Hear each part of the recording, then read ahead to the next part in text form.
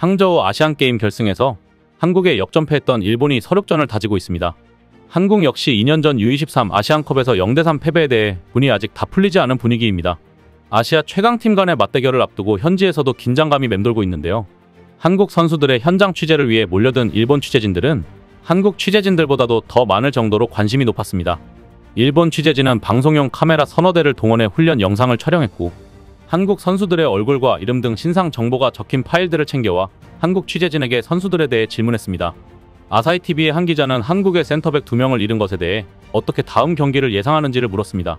한국은 중국전에서 서명관이 부상을 당해 쓰러졌고 아랍에미리트전에서 경고를 받았던 변준수가 시간 지연으로 경고를 쌓아 일본전에 출전할 수 없는 상황입니다.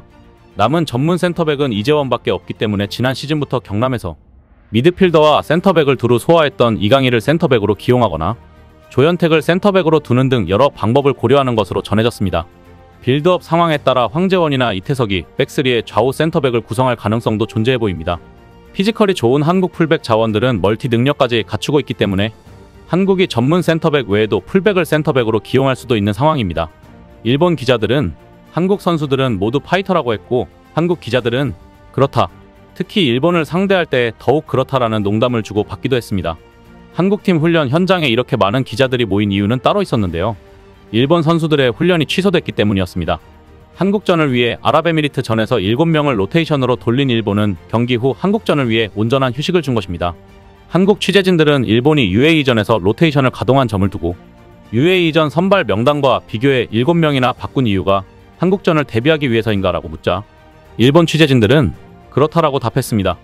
일본이 한일전을 얼마나 신경 쓰고 있는지 알 수 있는 대목이었습니다. 황선홍호 역시 일본을 경계하고 있습니다.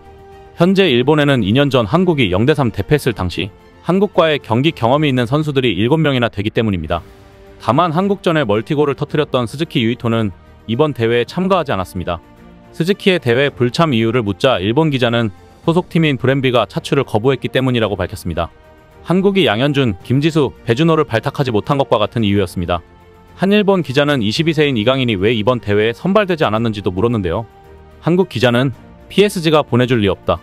이강인은 챔피언스 리그에서 뛰어야 한다라고 말하자 일본 취재진도 역시 그렇다라며 웃었습니다. 일본 매체 풋볼존은 21일 U23 일본에 떠오르는 우려점 라이벌 한국은 호조 5위와 감독 제이현상 놀랍다는 기사를 게재했습니다. 일본의 골 결정력 부족을 아쉬워하는 기사였습니다. 이에 반해 한국이 두 경기 세 골을 뽑아낸 이영준의 골 결정력을 언급하며 경계 대상 1호로 뽑았습니다. 또 다른 일본 취재진은 이영준이 골을 넣고 하는 세리머니에도 관심을 가졌는데요. 김천 상무 소속으로 군복무 중인 이영준은 올 7월 제대를 앞두고 있습니다. 김천 선수들이 국제 경기에서 득점 후 경례 세리머니를 하는 건 한국에선 익숙하나 일본인들은 생소했던 모양이었습니다. 중국전 이후 기자회견에 참석한 이영준에게 일본 취재진은 다소 어이없는 질문을 던졌는데요. 일본 취재진은 일본전에서 몇 골을 넣을 생각이냐고 묻자 이영준은 뼈를 때리는 현답을 내놓았습니다. 이영준은 축구에서 어떤 찬스가 어떻게 올지 모른다. 감히 몇 골을 넣겠다고 말하는 건 예의가 없는 행동이라고 생각한다. 찬스가 오면 다 살리려고 노력하겠다고 답했습니다. 실제 득점 찬스가 오는 것은 이영준의 능력밖에 이르기에 일본 기자의 질문에 참교육을 해주는 답변이었습니다. 이영준은 경례 세리머니에 대한 질문에서도 일단 현 소속이 김천상무이고 군 복무 중이다. 상무만이 아니라 군인으로서 해야 할 가장 첫 번째 행동이 경례다라며 군인 정신을 강조했습니다.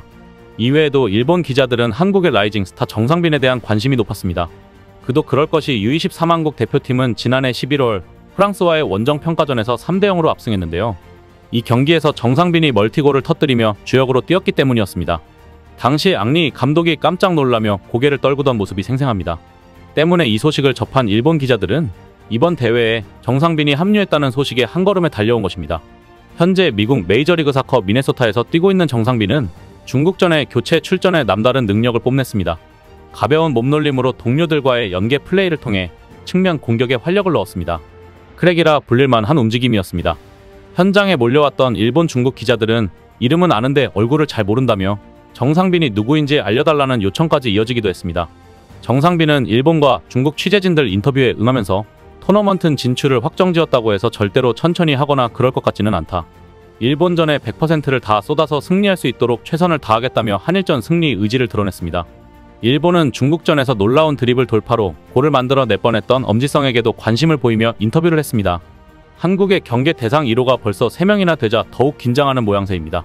일본 축구 팬들의 반응을 살펴보면 A조에서 호주가 탈락할 가능성이 높아져 일본의 조별리그 1위와 2위의 차이는 크다.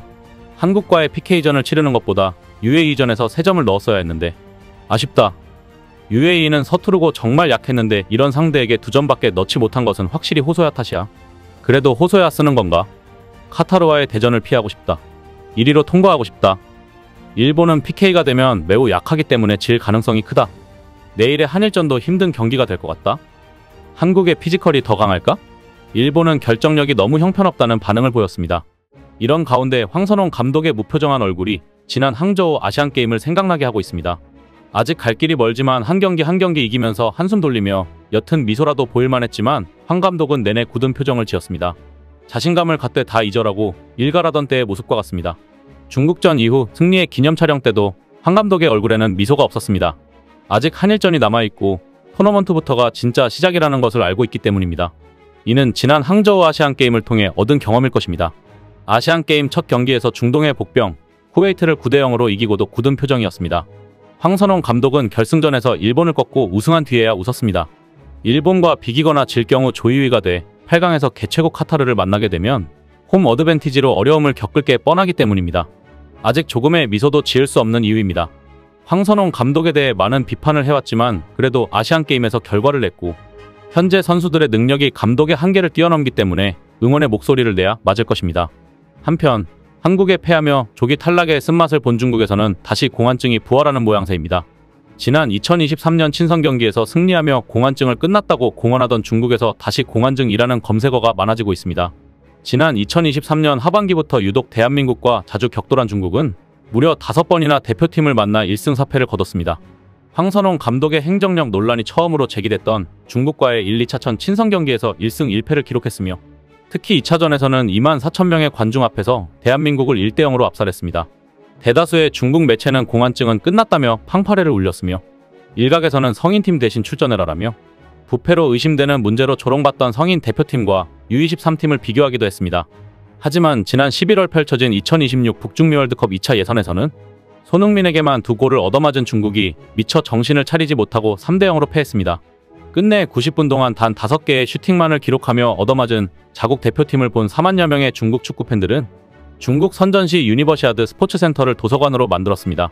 지난 2023년 12월 펼쳐진 AFC U20 아시안컵에서는 20세 이하 대표팀이 중국에 3대1로 승리했습니다.